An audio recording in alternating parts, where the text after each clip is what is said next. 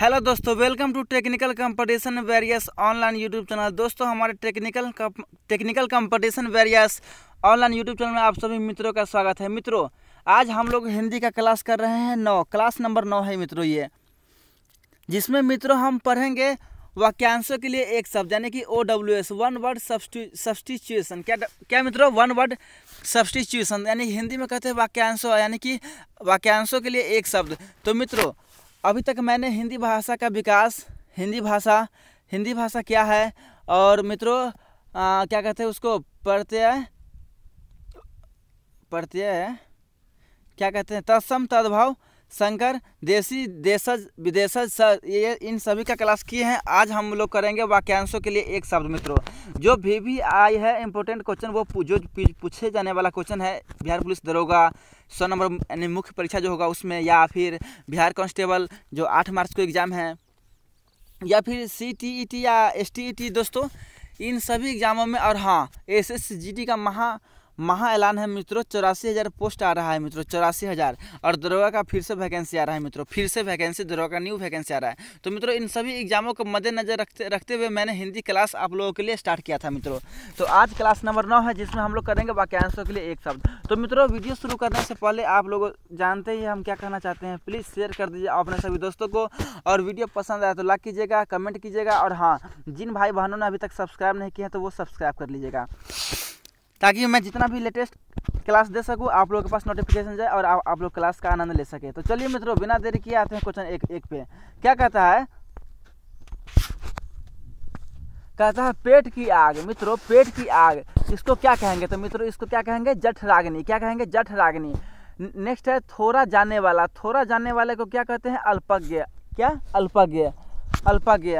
फिर किसी बात को करने का निश्चय लेना इस इसको क्या कहते हैं संकल्प लेना। क्या मित्रों संकल्प लेना। फिर है मित्रों जो जो ममत्व से रहित हो उसको क्या कहते हैं नि, नि, निर्मम। क्या कहते हैं निर्मम। नेक्स्ट है पलकों को गिराए बगैर।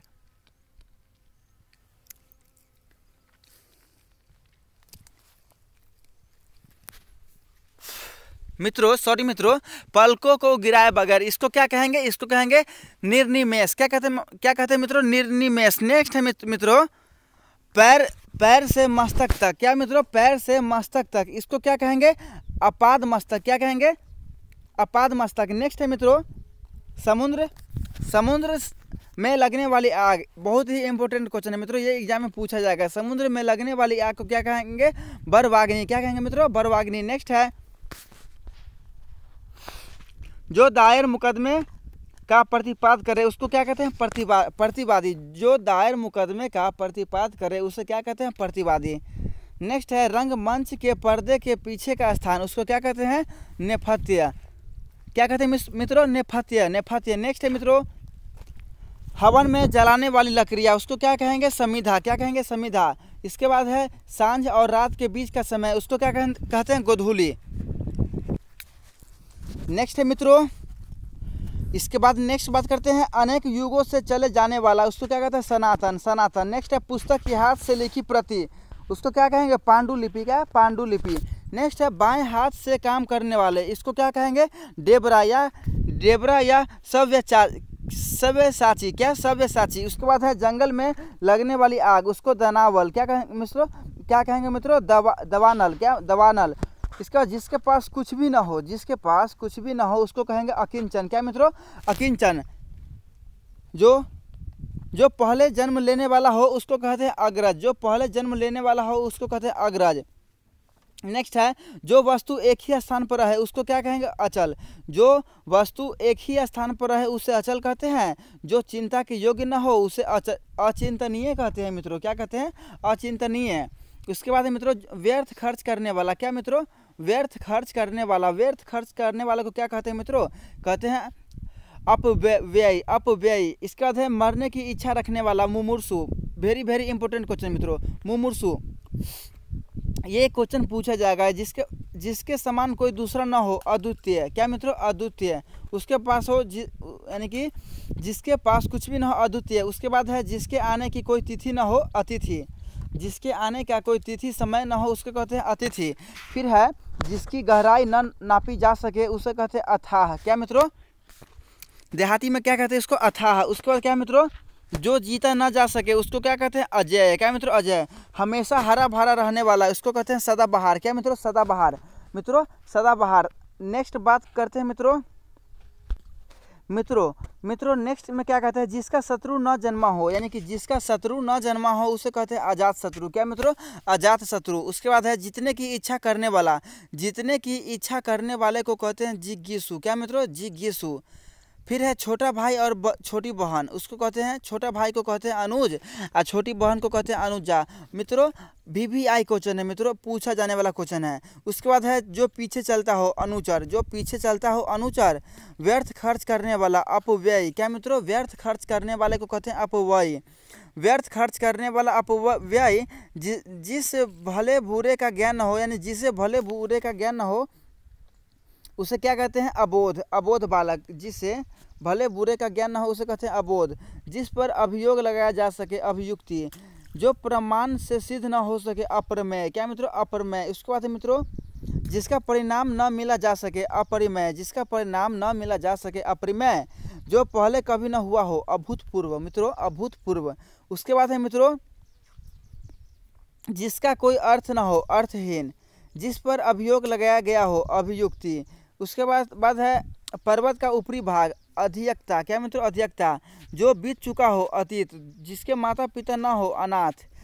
पृथ्वी और आकाश के बीच का स्थान को अंतरिक्ष कहते हैं। क्या कहते हैं? स्पेस। पृथ्वी और आकाश के बीच के जगह को क्या कहते हैं? स्पेस। बोले तो अंतरिक्ष। उसके बाद है उसके बाद है, जो न जाना जा सके, अज्ञेय। क्या मतलब मित्रों, अज्ञेय। जो खाया ना जा सके, अखाद्य। जो पढ़ा ना जा सके, अपठनीय। जो मूल्य घटाने का सॉरी मूल्य घटाने का कार्य अमूल्य अवमूल्यन अवमूल्यन, मूल्य घटाने का कार्य अवमूल्यन, जिसकी परिभाषा देना असंभव हो इम्पॉसिबल हो, अपरिभाषित।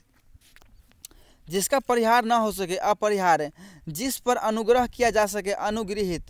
जिसका अनुभव किया जा चुका हो, अनुभूत। जो कभी नहीं मरता अमर्त्य सेन सॉरी अमर्त्य। जो दिखाई न पड़े, अदृश्य। जो निंदा के योग्य न हो, अनिंदनीय। जिसके टुकड़े न हो सके अखंड जो स्वयं से उत्पन्न हो, स्वयं हो। गुरु के समीप अथवा साथ रहने वाला छात्र को क्या कहते हैं? अंत्यवासी अंत्यवासी। गुरु के समीप, गुरु के नज़दीक या, यानी गुरु के क्लोज क्लोज विद्यार्थी को क्या कहते हैं? अंत्यवासी। इसका अर्थ जो मानव के योग्य ना हो, अमानवीय अमानवीय। जो विधि के विरुद्ध हो, जो विधि के विरुद्ध हो, अवैध है।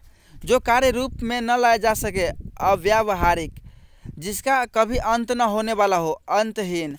उसके बाद है दोपहर के बाद का समय को कहते हैं अपराहन, जो शोक करने योग्य ना हो, अशोक, जिसकी कोई सीमा न हो, असीम, आकाश में उड़ने वाला आकाशचारी, जो इधर उधर से घूमता फिरता आ जाए, आगंतुक जन्म भर तक अजम्य, अपने जीवन का स्वलिखित इतिहास, आत्मकथा, अपने पैरों पर खड़ा होने वाला, आत्मनिर्भर, कहीं, कही हुई बात को बार बार कहना पृष्ठ पेशन। मित्रों, ये इम्पोर्टेंट है पृष्ठ पेशन।